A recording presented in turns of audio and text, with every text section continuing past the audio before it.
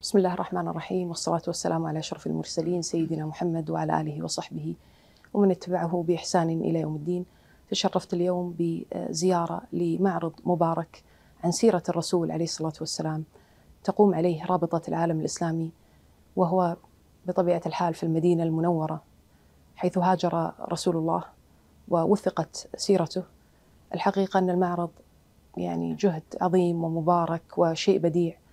وأنصح الجميع من يزورون هذا المكان المبارك بزيارة هذا المعرض لأن فيه توثيقا تفصيليا بكل صفات وسيرة الرسول عليه الصلاة والسلام وكلها تستند للأحاديث النبوية الصحيحة وكذلك القرآن الكريم بالإضافة إلى سير الأنبياء عليهم صلوات الله وسلامه.